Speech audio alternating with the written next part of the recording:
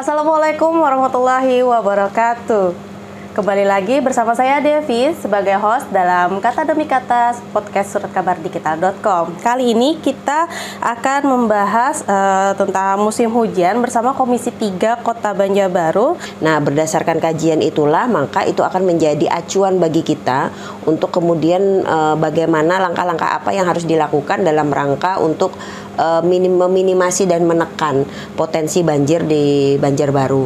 Nah, beberapa titik banjir ini kan uh, yang kita tahu pasti kan, yang sudah pasti masyarakat tahu bahwa uh, satunya di Kecamatan Cempaka yang memang biasanya paling parah. Jangan sampai ketemu lagi. See you bye bye.